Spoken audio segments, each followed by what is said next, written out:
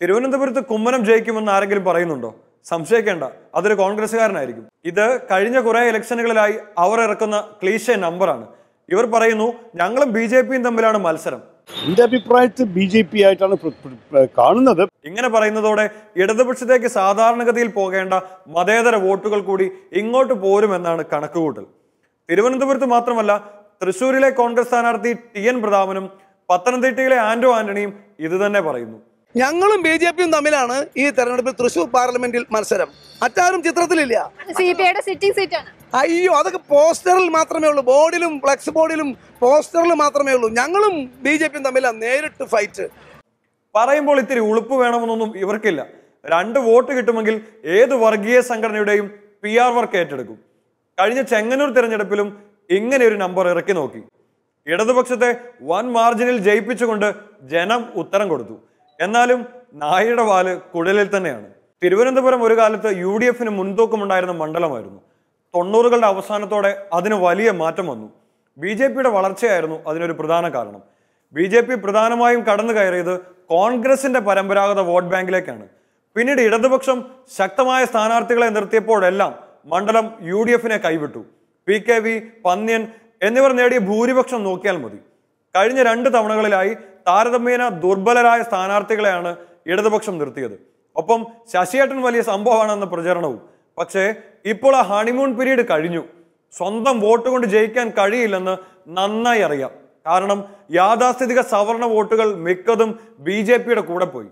രണ്ട് തവണ വിജയിച്ച ശശി തരൂരിനെതിരെ ആന്റി ഇൻകുംബൻസിയും ശക്തമാണ്. ഇനി ഇടതുപക്ഷ വോട്ടുകൾ കിട്ടിയാലേ രക്ഷയുള്ളൂ.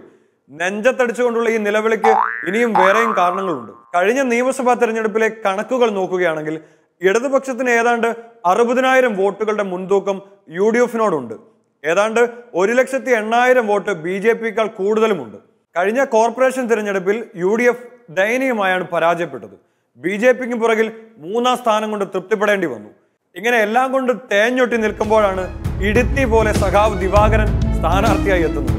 മുൻ മന്ത്രിയും നിലവിൽ നെടുമങ്ങാട് എം എൽ എയുമായ സി ദിവാകരൻ തിരുവനന്തപുരത്തുകാർക്ക് സുപരിചിതനാണ്. മണ്ഡലത്തിൽ ആഴത്തിൽ വ്യക്തിബന്ധങ്ങൾ സൂക്ഷിക്കുന്ന വ്യക്തിയാണ്. തിരഞ്ഞെടുപ്പിൽ ഒരിക്കലും തോൽവി അറിയാത്ത പരിചയസമ്പന്നനായ രാഷ്ട്രീയ പ്രവർത്തകനാണ്. ഭക്ഷ്യമന്ത്രി എന്ന നിലയിൽ മികച്ച പ്രകടനമാണ് അദ്ദേഹം കാഴ്ചവെച്ചത്. മറുവശത്ത് ബി ജെ പിയുടെ സ്ഥാനാർത്ഥിയായ ഒരു സാത്വികനായിട്ടാണ് അവർ അവതരിപ്പിക്കുന്നത്. ഈ സോക്കോൾഡ് സാത്വിക കുമ്മനം രാജശേഖരന്റെ ഹിസ്റ്ററി ഒന്ന് പരിശോധിക്കാം. സംഘപരിവാർ സംഘടനയായ വിശ്വ ഹിന്ദു പരിഷത്തിന്റെയും ഹിന്ദു ഐക്യവേദിയുടെയും മുൻനിര പ്രവർത്തകനായിരുന്നു കുമ്മനം. കേരളത്തിൽ വർഗീയ സംഘർഷം സൃഷ്ടിക്കാനുള്ള സംഘപരിവാറിന്റെ ഗൂഢശ്രമമായിരുന്നു നിലയ്ക്കൽ സമരം. ഈ അവസരത്തിൽ സമൂഹത്തിൽ മുസ്ലിം ഹിന്ദു വിഭജനം നടത്തി രാഷ്ട്രീയ ലാഭം കൊയ്യാൻ കേരളത്തിലെമ്പാടും ഓടി നടന്ന് ഗീർവാണം അടിക്കുകയായിരുന്നു കുമ്മനം. ആരാധനാലയങ്ങളായ ഹിന്ദു ക്ഷേത്രങ്ങളെ രാഷ്ട്രീയ സംഘർഷങ്ങളുടെ വേദിയാക്കാൻ കുറെ ചെരുപ്പ് തേച്ചതാണ് ഈ വിദ്വാൻ.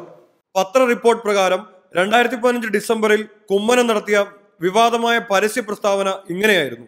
ഹിന്ദു ക്ഷേത്രങ്ങളുടെ അടുത്ത് മറ്റു മതക്കാരുടെ കച്ചവട സ്ഥാപനങ്ങൾ വേണമോ എന്ന് ആലോചിക്കണം.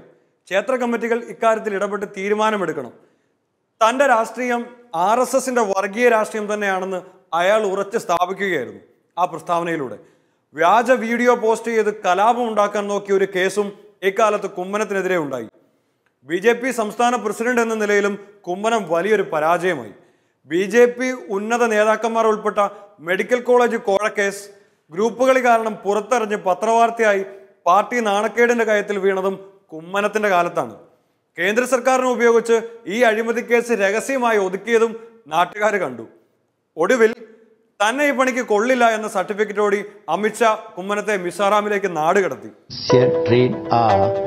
Khi ni hoi mo tak hi min beng him tura kantana no ഇപ്പോൾ വീണ്ടും ഗ്രൂപ്പ് തർക്കങ്ങൾ മൂലം കുമ്മനം തിരുവനന്തപുരത്ത് സ്ഥാനാർത്ഥിയായി എത്തി നിൽക്കുകയാണ്. തിരുവനന്തപുരം മണ്ഡലത്തിൽ രണ്ടായിരത്തി പതിനാലിൽ രാജഗോപാൽ രണ്ടാം സ്ഥാനത്ത് എത്താൻ കാരണം വ്യക്തിപരമായ ബന്ധങ്ങളും മുൻപ് റെയിൽവേ മന്ത്രി എന്ന നിലയിൽ അയാൾ നടത്തിയ പ്രവർത്തനങ്ങളും വർഷങ്ങളായി തിരുവനന്തപുരത്ത് മത്സരിച്ച് തോൽക്കുന്നത് മൂലം വോട്ടർമാർക്ക് തോന്നിയ സഹതാപവും മോഡി തരംഗവുമായിരുന്നു. എന്നാൽ ഈ പറഞ്ഞ ഒരു ഘടകവും കുമ്മനത്തിനെ തുണക്കില്ല. നിയമത്തിൽ മത്സരിക്കാൻ താല്പര്യപ്പെടുന്നില്ല. നിയമത്തല്ല എവിടെയും മത്സരിക്കാൻ താല്പര്യമില്ല താങ്കൾക്ക് ഈ തരത്തിലുള്ള മടുപ്പ് തോന്നുന്നുണ്ടെങ്കിൽ ബി ജെ പിക്ക് ഒരുപക്ഷെ തോന്നുന്നുണ്ടാവില്ലേ? ഒ രാജഗോപാൽ എന്ന് പറയുന്ന എം എൽ എയുടെ പ്രവർത്തനം അവിടെ അത്ര നന്നാവുന്നില്ല എന്ന് അവർക്ക് തോന്നുന്നുണ്ടാവും. ഞാൻ കുറ്റം പറയില്ല. ശബരിമല വിഷയം ഉപയോഗിച്ച് വർഗീയത മാത്രം പറഞ്ഞ് ജയിക്കാമെന്ന ബി ജെ പിയുടെ കണക്കുകൂട്ടൽ തിരുവനന്തപുരത്ത് നടക്കില്ല. കാരണം ഇത് അനന്തപുരിയാണ്. പാളയം പള്ളിയും ഗണപതി ക്ഷേത്രവും ജുമാ മസ്ജിദും ഒരേ മണ്ണും മനസ്സും പങ്കിടുന്ന മതേതര അനന്തപുരി. ആറ്റുകാൽ പൊങ്കാലയ്ക്ക് വരുന്ന ഭക്തർക്ക് വിശ്രമിക്കാൻ സ്വന്തം വീടുകൾ തുറന്നു കൊടുക്കുന്ന അഹിന്ദുക്കളുള്ള അനന്തപുരി. ഓണവും ക്രിസ്തുമസും ഈദും ഒരുമിച്ചിരുന്ന് ആഘോഷിക്കുന്ന പാരമ്പര്യമുള്ള അനന്തപുരി. പണക്കൊഴുപ്പിന്റെ പ്രചരണത്തിലൂടെ ഇവിടെ കുമ്മനം എന്ന വെറുപ്പിന്റെ രാഷ്ട്രീയക്കാരനെ കെട്ടിയിറക്കാനുള്ള ശ്രമങ്ങൾ വിജയിക്കാൻ പോകുന്നില്ല. വർഗീയതയും അവസരവാദവും ഏറ്റുമുട്ടുന്നത് കേരളം കണ്ട ഏറ്റവും മികച്ച ഗവൺമെന്റുകളിൽ ഒന്നിനെ നയിക്കുന്ന ഇടതുപക്ഷ മുന്നണിയാണ്. ദുരന്തങ്ങൾ തിരമാലകളായി ആർത്തലച്ചപ്പോൾ ജനതയുടെ അതിജീവനത്തിന് കരുത്തു പകർന്ന ഭരണകൂടമാണ് ഇവിടെ പ്രതിരോധം തീർക്കുന്നത്.